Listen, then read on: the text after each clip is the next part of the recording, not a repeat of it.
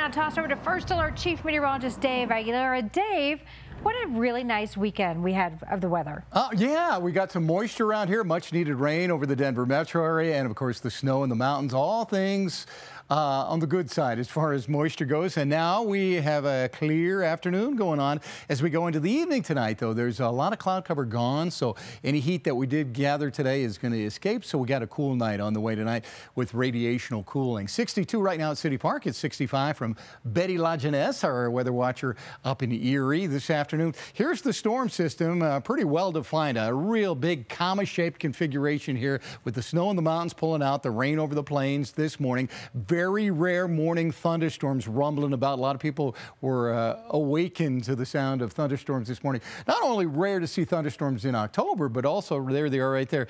Uh, rare to get them in the early morning hours like that. So uh, quite a storm that uh, came through here. Now we got another cold front in Boise, north of San Francisco as well. And that is not going to have an effect on us because of this little high that's over Las Vegas. This high is not going to be a real big surge, but it's going to be a flat ridge that kind of keeps everything up to the northern Rockies here. So that little trough comes through, goes up uh, into Wyoming, northern Wyoming, Montana. That's about it. And then on Thursday, there's a little system that kind of just tries to take a nosedive into the northern Rockies here. It should be enough to cool our temperatures on Friday, maybe give us a few afternoon clouds Thursday, but our chances for rain are rather small. Could be a sprinkle with some afternoon clouds, but that's going to be about it. And then a stronger ridge takes over after that Friday on into the weekend, and it's going to be a dry and sunny and very calm weekend ahead for us. So overnight tonight, just a few clouds developing right along the front range for the morning tomorrow. A little wave cloud there. Otherwise, mostly sunny across the state. And then at the end of the day, a few clouds clouds over northern Colorado tomorrow. So most of us will have sunshine with the clearing skies tonight. Very cold out west around the Four Corners and northwestern valley areas here, including like uh, Glenwood Springs area and some of these areas have a freeze warning tonight.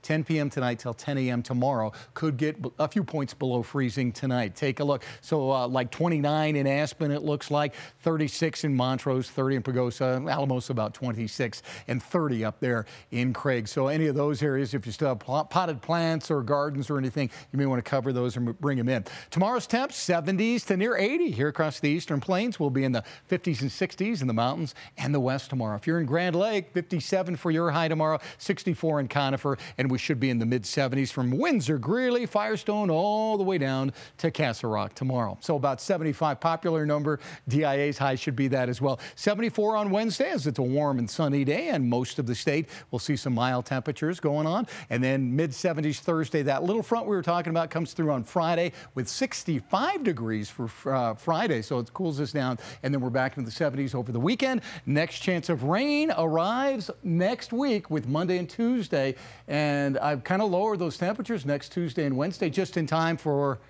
Halloween. We got a little cool shot coming our way just before the holiday. Dave, thank you so much. We'll check in with our Romi Bean now.